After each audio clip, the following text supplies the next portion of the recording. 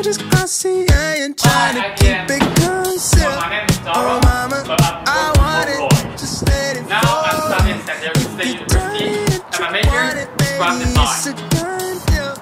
Oh, mama, I want it, I want it, oh. Why you acting In IDM program, my passion come from prototyping and creating coding courses.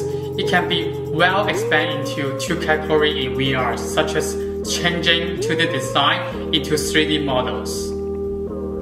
For example, I can install my Min Eye Massager on a VR device to make a product that can protect people's eyes. They can wear VR for entertainment, work, and social activities for a long time.